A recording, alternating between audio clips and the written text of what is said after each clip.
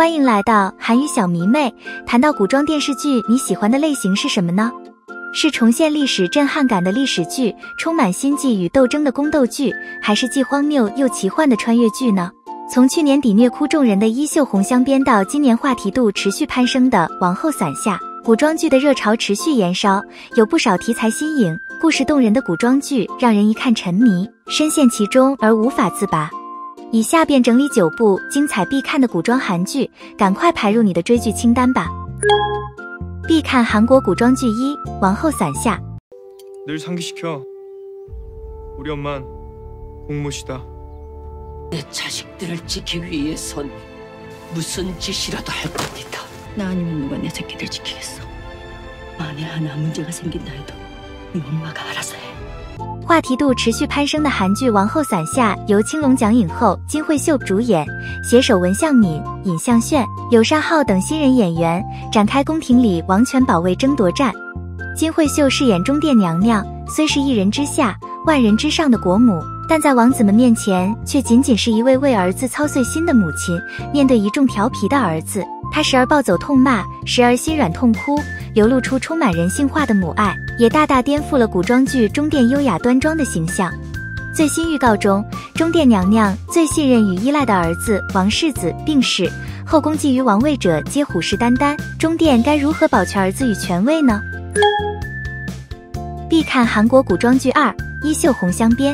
하지만난새손자가훌륭하신분인것같아그서고에서너와함께보낸시간이 특별했으니까그곳에서나는무엇을얻었을까무엇을잃었을까二零二一年的黑马剧《衣袖红镶边》改编自江民江同名小说与史实资料，由李俊昊、李世荣、姜勋主演。故事讲述圣君李算与宫女程德任虐心的恋爱故事。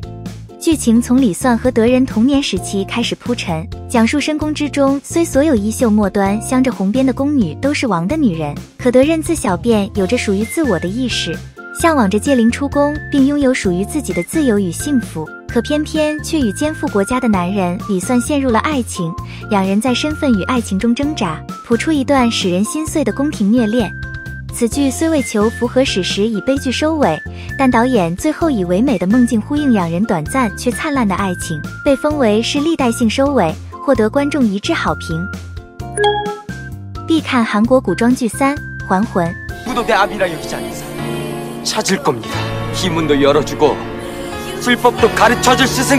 除了符合史实的历史剧，你争我夺的宫斗剧深受剧迷的欢迎，带有神秘色彩的奇幻武侠剧也受到许多关注。今年由德鲁纳酒店的编剧洪氏姐妹所打造的《还魂》开播之前就引起超高话题，奇幻的世界观、演员的高超演技、精彩的打斗戏也让该剧在 Netflix 韩剧全球播放量排行中跻身前五名。此剧以架空的大湖国为时空背景。讲述一群能操弄生命之气的术士，在禁忌之术还魂术兴起的时局下所发展的奇幻爱情故事。还魂全剧总共有三十集，目前仅播毕第一季二十集的内容，预计于二零二二年年底释出第二季。必看韩国古装剧四《朝鲜精神科医生刘世峰》。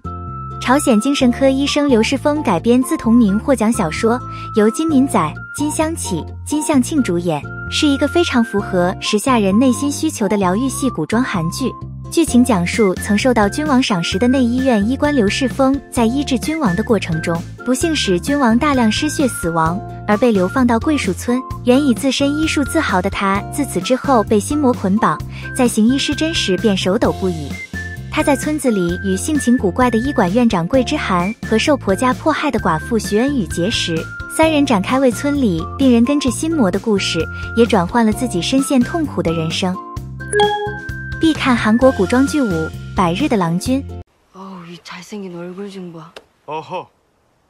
어허어디더러운손을감히어허아직말이끝나지않았다어허어허어허어허 百日的郎君由人气男团 EXO 成员都敬秀与童星出身的演员南智炫携手主演。以笑泪交织且浪漫的爱情剧情深受观众喜爱，播出后收视率节节上升，还在当时刷新了 TVN 月火连续剧的最高收视纪录。《百日的郎君》剧情讲述才貌双全的王世子李律因受歹人追杀不慎跌落悬崖，并失去记忆，流落民间的他意外的与大龄剩女颜红心成亲，两人成了共度百日、有名无实的夫妻。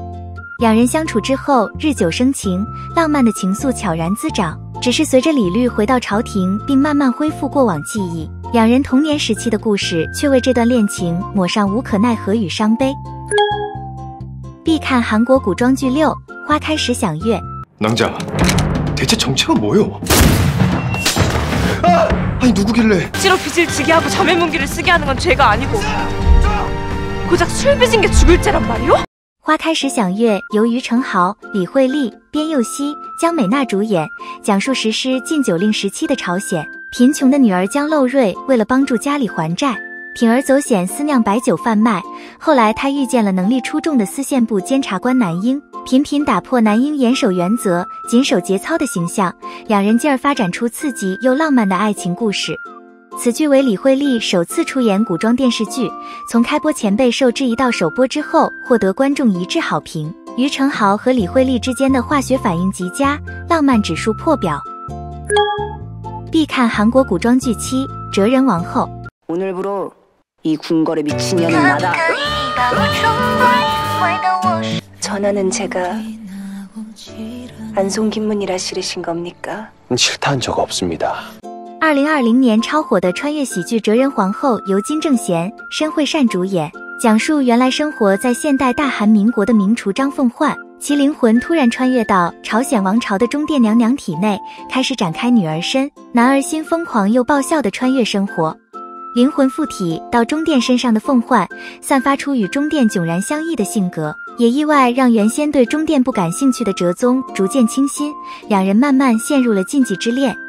此剧纯属架空，并非是史实，但剧情荒谬又有趣，深受观众的喜爱。尤其是演员申惠善将外在是女性，灵魂是男性的凤焕一脚穿越后的震惊、忧郁、愤怒完美演绎，并且惟妙惟肖地诠释出男性大而化之的动作，将喜剧效果冲到满分，可以说是本剧的最大功臣与看点。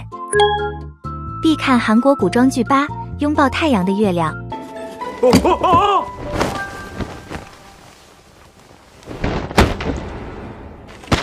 拥抱太阳的月亮》改编自同名小说，由金秀贤、韩佳人领衔主演。